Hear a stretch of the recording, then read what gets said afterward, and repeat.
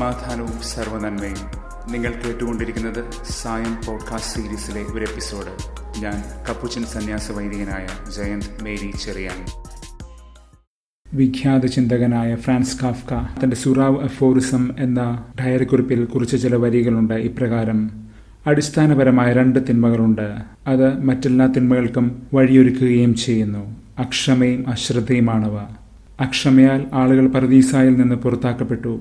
വീണ്ടും പ്രതീസായിലേക്ക് പ്രവേശിക്കുന്നതിൽ നിന്ന് അശ്രദ്ധ അവരെ തടസ്സപ്പെടുത്തുകയും ചെയ്യുന്നു. ഒരു പക്ഷേ ഒരടിസ്ഥാനത്തിന്മ മാത്രമേ കാണൂ. അത് അക്ഷമയായിരിക്കണം. അക്ഷമ ഒരുവനെ പർവീസായിൽ നിന്ന് പുറത്താക്കി. അക്ഷമ അവൻ തിരിച്ചു വരുന്നതിൽ നിന്ന് തടസ്സപ്പെടുത്തുകയും ചെയ്യുന്നു. ഇന്ന് പുറപ്പാട് മുപ്പത്തിരണ്ട് ഏഴ് മുതൽ പതിനാല് വരെ. മോശ സീനായ് മലയിലേക്ക് ദൈവിക സമക്ഷത്തിലേക്ക് പോയ സമയമാണത്. ജനം മോശയിൽ ശരണമർപ്പിച്ചവരാണ്. ട്രസ്റ്റ്. പക്ഷേ മോശ വരാൻ വൈകുമ്പോൾ ജനം അക്ഷമരാകുന്നു ഇംപേഷ്യന്റ് അവർ അഹ്റോനോട് പറയുന്നു ഞങ്ങൾക്ക് ദൈവത്തെ ഉണ്ടാക്കി തരുവെന്ന് പ്രൊഡ്യൂസ് ഗോഡ്സ് ദൈവത്താൽ പണിതുയർത്തപ്പെടേണ്ടതിന് പകരം അവർ ദൈവത്തെ പണിതുയർത്താൻ നോക്കി. Working out a god instead of getting worked upon by god നമ്മിൽ പ്രവർത്തന നിരതനാകുന്ന ദൈവത്തെ നാം ഈ ദിവസങ്ങൾ കണ്ടുവരികയാണല്ലോ. ഗോഡ് ദ വർക്ക് സീനായ് എന്ന വീക്ഷണകോണ് വാന്റേജ് പോയിന്റിൽ നിന്ന് ശ്രദ്ധിച്ചാൽ ഈ സ്വർണ കാളക്കുട്ടിക്ക് പലതരം അർത്ഥതലങ്ങളുണ്ട്. വലിയ പരപ്പുള്ള ഒരു അനുഭവമാണത് സ്ഥലകാലങ്ങളുടെ പരപ്പ്. കാരണം ഈ തെറ്റുകൾ എന്നും എക്കാലത്തും ആവർത്തിക്കപ്പെടുന്ന ഒന്നാണ്. അവർ തൊട്ടു മുൻപേ പിന്നിട്ട് വന്ന ഈജിപ്തിൽ കാളകളുടെ രൂപം പേർന്ന ദേവന്മാരുണ്ടായിരുന്നു. അതിന്റെ ഓർമ്മയാകാം അത്. അവർ ആ കാളക്കുട്ടിയെ ഉണ്ടാക്കാൻ ഒരുക്കിയ പൊന്നും ഈജിപ്തിൽ നിന്ന് കൊണ്ടുവന്നതായിരുന്നല്ലോ. അവരുടെ സമീപ ഭൂതകാലത്ത് നിന്ന് അവർ കൈവിട്ടു പോകാത്ത ഒരു ഏട് പോലെ. ഒരു ഭാവികാല ദൃശ്യവും ഇവിടെ വിരിയുന്നുണ്ട്. അവർ ഇനിയും കടന്നു ചെല്ലാനിരിക്കുന്ന കാനാനി ദേശത്തിൽ ഈ രൂപമാർന്ന ദേവന്മാരുണ്ട്.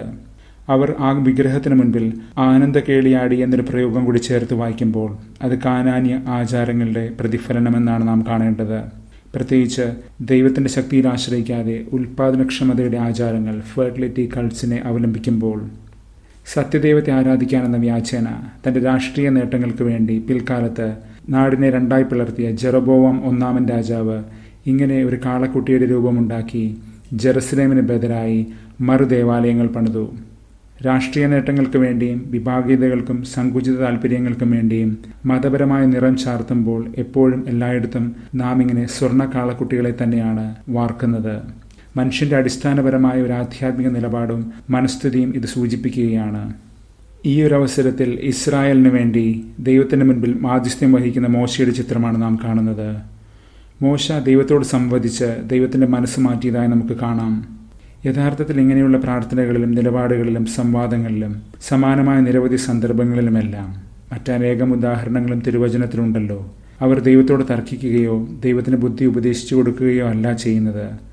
പകരം അവർ ദൈവത്തിന്റെ മനസ്സിന്റെ ആഴങ്ങൾ വായിച്ചെടുക്കുകയാണ്. അവർ ദൈവഹിതത്തെ പരതി നോക്കുന്നു. ദൈവത്തിന്റെ ഭാവങ്ങളുടെ പര്യവേക്ഷണം exploration of god's heart and will അവിടെ അവർ കണ്ടുമുട്ടുന്നത് സ്നേഹകാരുണ്യത്തിന്റെ ആഴവും അഴകുമാണ്. ഇതാണ് ഇങ്ങനെ ധൈര്യത്തോട് ദൈവത്തോട് വിലപേശാൻ അവരെ ശക്തരാക്കുന്നത്. കാരണം അവർ പറയുന്നത് ദൈവജനത്തിന് ദൈവത്തിന്റെ വിലയാണ് എന്നാണ്. അതുകൊണ്ട് തന്നെ താൻ രക്ഷിച്ചു കൊണ്ടുവന്നവരെ ഒരു കാലത്തും ദൈവത്തിന് നശിപ്പിക്കാനാകില്ല. അതിന് ശക്തിയില്ലാഞ്ഞിട്ടല്ല ദൈവത്തിന് അതിന് മനസ്സില്ലാത്തതുകൊണ്ട്.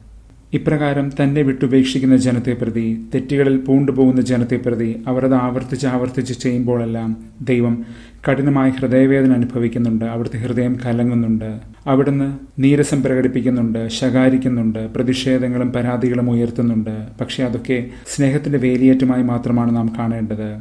അതൊരു യാന്ത്രികമായ സംവിധാനമല്ല തെറ്റ് ചെയ്യുന്നവൻ യാന്ത്രികമായി ശിക്ഷിക്കപ്പെടുന്നതുമല്ല. ആ തെറ്റുകൾ ദൈവത്തിന്റെ ഹൃദയത്തിനുണ്ടാക്കുന്ന മുറിവ് ആ പിളർപ്പിൽ നിന്ന് തുടർന്ന് അങ്ങോട്ടുണ്ടാകുന്ന വലിയ പിളർപ്പുകൾ ഇതാണ് നാം ശ്രദ്ധിക്കേണ്ടത്. അതുകൊണ്ടാണ് മോശ ഇന്ന് ആ പിളർപ്പിൽ നിന്നുകൊണ്ട് ബ്രീച്ച് മധ്യസ്ഥം വഹിച്ചു എന്ന് പറയുന്നത്. അത് ദൈവത്തിന്റെ പക്ഷം ചേർന്നുകൊണ്ട് അവൻ ജനത്തോട് നടത്തുന്ന നിവേദനമായി നാം മനസ്സിലാക്കണം. അല്ലാതെ ദൈവത്തിന്റെ കണ്ണു തുറപ്പിക്കാൻ വേണ്ടി ജനത്തിന്റെ പാപങ്ങളെ മൂടി വെച്ചുകൊണ്ട് അവൻ സംസാരിക്കുകയല്ല. ദൈവത്തിൽ നിന്ന് പിളർന്നകന്നു പോകാതിരിക്കാൻ ജനങ്ങളെ അവൻ തിരിച്ചു കൊണ്ടുവരുവാനായി അവരുടെ ഹൃദയങ്ങളിലേക്ക് നടത്തുന്ന നിവേദനമായി നാം ഇതിനെ വായിച്ചെടുക്കണം. അതുകൊണ്ട് തന്നെയാണല്ലോ ഇതൊക്കെ മോശ എഴുതി വെച്ചു വിശുദ്ധ ഗ്രന്ഥത്തിന്റെ ഭാഗങ്ങളായി എന്ന് നാം മനസ്സിലാക്കുന്നത്. ദൈവത്തിന് വായിക്കാൻ വേണ്ടിയല്ലല്ലോ അത്. നമ്മൾ ഈ വചനമൊക്കെ വായിച്ച് ഗ്രഹിച്ച് അതനുസരിച്ച് പ്രവർത്തിക്കാൻ തന്നെയാണ്. ദൈവത്തിന്റെ മനസ്സ് മാറി എന്നൊരു പ്രയോഗമുണ്ട് ഇവിടെ. തന്റെ ജനത്തിന് അർഹിക്കുന്ന ശിക്ഷ കൊടുക്കാതെ ദൈവം അവരെ വീണ്ടും വീണ്ടും ആശ്ലേഷിക്കുകയാണ്. ദൈവത്തിന്റെ ഈ അനുതാപം പാപത്തിൽ നിന്നുള്ള നമ്മുടെ തിരിച്ചുവരവിന്റെ അനുതാപം ഷൂഫ് അതിന് സമാനമായിട്ടല്ല നാം മനസ്സിലാക്കേണ്ടത്. കഠിനമായ ഹൃദയചലനങ്ങളിൽ നിന്നുളവാകുന്ന തിരിച്ചുവരവ് നിഖാം മനസ്സുമാറ്റമാണത്. തന്റെ ജനം ആവർത്തിച്ചാവർത്തിച്ച് ഇങ്ങനെ തന്നെ വിട്ടുപിരിയുമ്പോൾ അപ്പോസ്റ്റസി ദൈവം ഒന്നേ ചോദിക്കുന്നുള്ളൂ ഇനി ഞാൻ എന്താണ് ചെയ്യേണ്ടത്? ഹോസിയ ആറ് നാല്. ആഴമേറിയ സ്നേഹത്തിന്റെ ബന്ധത്തിലാണ്. അതേസമയം ആ പാരസ്പര്യം മുറിച്ചകന്നു പോകുന്ന നമ്മുടെ പാപവഴികളിലാണ് ഈ കടും കാഴ്ചകൾ വിടരുന്നതെന്ന് ഓർക്കണം. ഇന്ന് സങ്കീർത്തനം നൂറ്റിയാറ്. മോശയുടെ ഈ മധ്യസ്ഥതയെ ദൈവഹൃദയത്തെ അവൻ പര്യവേക്ഷണം ചെയ്യുന്നതിനെ കുറിക്കുന്നത് അതുകൊണ്ടാണ്. ജനമാകട്ടെ തങ്ങളുടെ ഹൃദയത്തെ പര്യവേക്ഷണം ചെയ്ത് തങ്ങളുടെ തെറ്റുകൾ നിരത്തി വയ്ക്കുന്നുമുണ്ട് അവർ പറയുന്നു ഞങ്ങളുടെ പിതാക്കന്മാരെ പോലെ തന്നെ ഞങ്ങൾ തെറ്റുകൾ ചെയ്തുവെന്ന്. കർത്താവ് ചെയ്ത വലിയ നന്മകൾ വിസ്മയകരമായ കാര്യങ്ങൾ അവർക്കറിയാഞ്ഞിട്ടല്ല. അവർ അതൊക്കെ കാലക്രമേണ സൗകര്യപൂർവം മറന്നുകളയുന്നു. അശ്രദ്ധ കെയർലെസ്നെസ് നാം ആദ്യം കണ്ടതുപോലെ ആവർത്തിച്ചുകൊണ്ടിരിക്കുന്ന പാപത്തിന്റെ ചക്രമാണിത്. എത്ര പ്രാവശ്യം അവർ തെറ്റ് ചെയ്യുന്നു അപ്പോഴെല്ലാം ദൈവം അവരെ വീണ്ടും വീണ്ടും തിരിച്ചു കൊണ്ടുവരുന്നുണ്ട് സർവം മറന്നുകൊണ്ട്. അടുത്ത നിമിഷമാകട്ടെ ഈ ജനം ദൈവത്തെ മറന്നു കളയുന്നു ദൈവം ജലപാതങ്ങളെ മെരുക്കിയ കാര്യം സങ്കീർത്തകൻ ഓർമ്മിപ്പിക്കുന്നുണ്ട്. കഴിഞ്ഞ ദിവസങ്ങളിൽ നാം ചിന്തിച്ചു തോർത്താൽ ദൈവം ക്രമരാഹിത്യം തോഹു കേയോസിന് മേൽ അഴകും അടുക്കും വിരിയിച്ചതിന്റെ ഓർമ്മയാണിത്. ദൈവം ക്രമപ്പെടുത്തിയ നമ്മുടെ ജീവിതങ്ങളെ പ്രതി നാം എപ്പോഴും നന്മയും സ്തുതിയുമുള്ളവരായിരിക്കണം. ഇന്ന് നാഥൻ പറയുന്നത് പിതാവ് തനിക്ക് നൽകുന്ന സാക്ഷ്യത്തെക്കുറിച്ചാണ്. യോഹന്നാൻ അഞ്ച് മുപ്പത്തൊന്ന് മുതൽ നാൽപ്പത്തേഴ് വരെ. അത് യഥാർത്ഥ സാക്ഷ്യമാണ്. ക്രിസ്തുവാകട്ടെ പിതാവിന് സാക്ഷ്യം നൽകുകയും ചെയ്യുന്നു. പിതാവ് പറഞ്ഞതല്ലാതെ യാതൊന്നും പുത്രൻ പറയുന്നുമില്ല പ്രവർത്തിക്കുന്നുമില്ല. അവിടുന്ന് പിതാവിന്റെ ഹൃദയത്തെ പൂർണമായി അറിയുന്നു സന്തോഷത്തോടെ അതനുസരിക്കുകയും ചെയ്യുന്നു.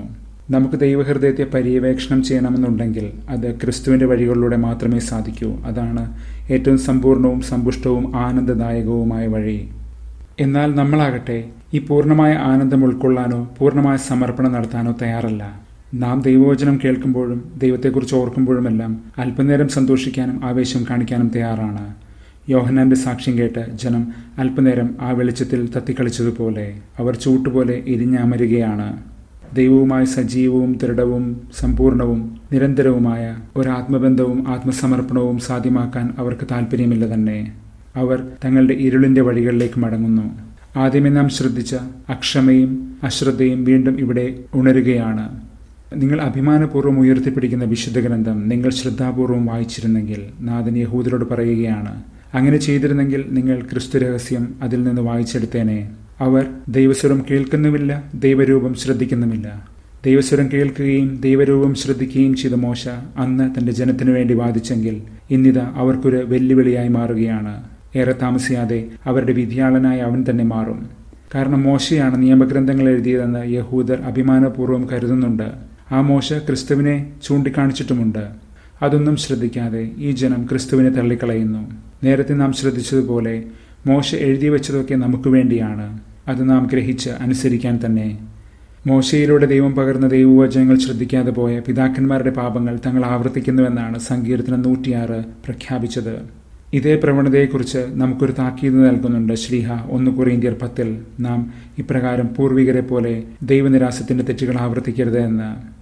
നാഥൻ എന്ന് പറയുന്നു പുത്രനിൽ വിശ്വസിക്കുക. കാരണം അത് ദൈവപിതാവിന്റെ ഹിതം തന്നെയാണ്. വിശ്വാസം എന്നത് ഒരു തലയാട്ടലല്ല ക്രീഡൻസ്. ആനന്ദപൂർണമായ അനുസരണം കൂടിയാണ് ഹാർട്ടി ഒബീഡിയൻസ്.